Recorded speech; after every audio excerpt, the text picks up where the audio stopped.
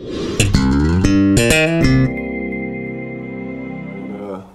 didn't didn't uh, didn't really know what bowl we were gonna play in. I mean, there's a lot of a lot of rumors going around, and we started playing in Jacksonville, first thing I did was text some text some friends back home and text my parents and let them know. How many friends, how many, how tough it's gonna be to get tickets for all friends and family? Oh man, it's gonna be tough, man. I, I was already thinking about it. Luckily, I think we get like uh, they gave us like six tickets this game, so hopefully I can persuade some guys to help me out. What was that meeting room like when you found out you were going to the Tax Slayer?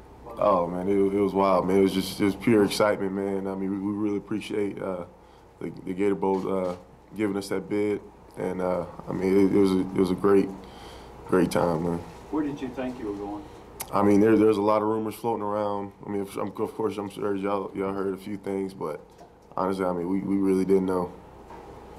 Jordan, you're one of you seniors here. I mean, just what does it mean to you to kind of be able to end your career with this kind of experience after just missing the last few years? Yeah, yeah. I mean, I mean, to go from no bowl game these last couple of years to us playing in the January Bowl like the Gator Bowl, man, it's I mean, it's just a great feeling. Kyler, you've been in the program four years.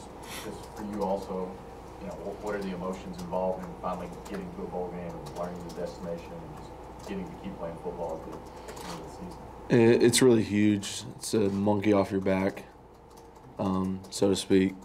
And, you know, I really wanted to do it for the guys that were leaving because I still have the extra year. But guys that I came in with, like Jordan, um, and some of the older guys, they don't they don't have another chance. This is their last chance. Really want to do that for them.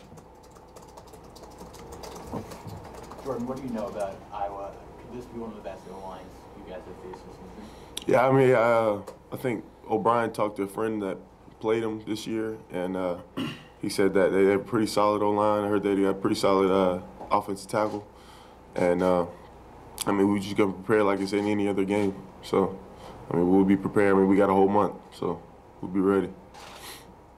Many of y'all, none of y'all been through a bowl before. I'm just wondering, the fifth-year seniors like Dar, Jacob Gilliam, what have they kind of told you about what the experience is like just in terms of the atmosphere, preparing for a bowl, that type of thing? I mean, they just tell us how much fun it is, um, how exciting it is to be able to go to a different city and spend time with your teammates, separate from just football. Um, how how all the gifts that you get and how great it is just to just to have the whole experience. Do you guys look at this as like a fun reward type trip, or is this a business trip where you're strictly going down there to win a game? I mean, I mean, we have to. I mean, of course, of course, it's going to be a good time. You know what I mean, it's. I mean, it's postseason play. It's going to be a bowl site. I mean, it's going to be a great time. But I mean, we're going down there with a business mindset and preparing this preparing this month with a business mindset. Because I mean, we still have a football game to win. Jalen, this is obviously the, the last game for this particular team. How much can uh, this game and maybe a win kind of set the tone going into the offseason? Because you guys will have a lot of guys back. Yeah, well, I think it's gonna be big. Um, the way I see it is, there's no turning back now. Um, you know, we had six and six season. We got, you know, the chance of playing in the Tax Slayer Bowl. So now we just gotta keep climbing.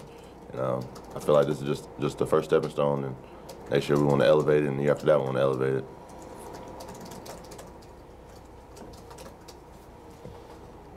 This is kind of old hat to Iowa. They're in a bowl game just about every year. I mean, how do you keep from making that bowl experience a factor? Or do you just had a concern that their bowl experience can make a difference or anything like that? Thing is, uh, I mean, our coaching staff, obviously, I mean, they're experienced with bowls, and I'm, I'm, I'm sure they know that we might get caught up in a little bit of all the excitement and stuff. So I'm pretty sure I, I trust their pre- preparation and, and getting us ready to play in this bowl. So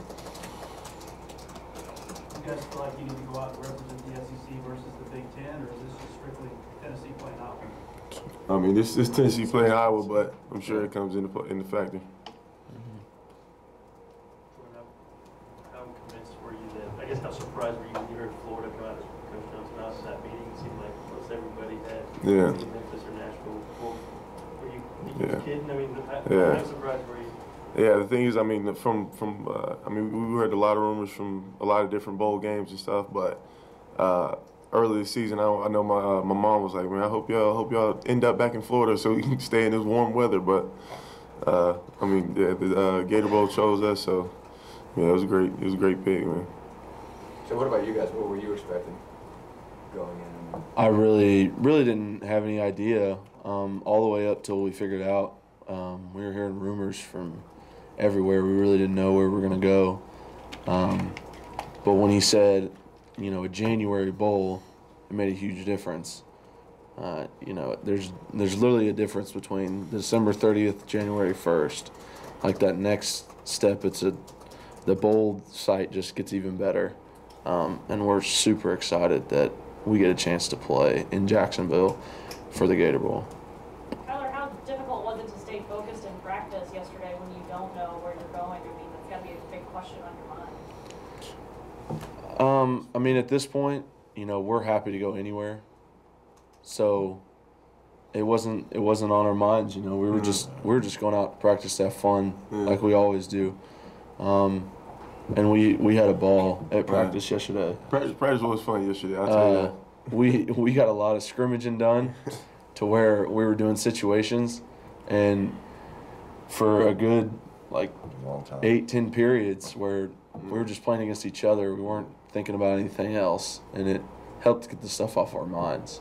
Yeah. Yeah, I think we just went back just to playing football yesterday, man. I mean, just weren't focused on any any other team pre- uh, preparing, no scouts, nothing, no looks, nothing like that. I mean, we're just playing against each other, competing. I mean, it was, I ain't gonna lie, it was that was, that was the most fun I had in practice. Yeah. Media makes a big deal out of these bowl practices as ways to get younger guys more reps, things like that. Do we overdraw that, or is is having this extra stretch of practice before a bowl game, is that really as important as, as it, people make it sound? Yeah, I mean, that's just like uh, these these extra 15 practices. I mean, I mean, young, I'm saying young guys. A lot of them play on scout team during during the season, and they don't get to get first team looks. You know what I mean, and, and stuff like that. So they're they're always in another position that they normally wouldn't be playing, and uh, to get them reps here, 15 reps, I mean 15 practices here, and then take that into the spring, and then they get another what 15 practices in the spring, and then take that into the fall. I mean, it's it's like a whole nother spring. So, I mean, to get to get them a lot of reps and, and get them a lot of looks, it's it's real important. I think it's real big for um, our linebacker room. Um, you know, we got a lot of young guys in the room. A lot of kind of. I'm one of the most experienced players, and I'm just a sophomore. So it's. I think it's going to help our linebacker room a lot, just getting those guys reps and just helping them play. Because really, man, some of the guys have been on scout team. They haven't really just been playing our defense since since like week two or week three. So it, it's definitely going to be big for them. So, Jim and Kyler, you're going to be back next year. To hear that Butch Jones is getting a contract extension is kind of here for the foreseeable future. What does that mean to y'all, just in terms of the future of the program and stuff like that? It's huge because I believe in Coach Jones, and I know that he can do a lot of great things. Um, and I really want him to stay as long as possible and be able to get, you know, freshmen coming in next year all the way through, you know, all five years if they're here, and uh, just keep building the program up. It really gives us a lot of confidence in him, and you know, I want to be one of the VFLs coming back and being excited to come to a game and and cheer on um, the Vols.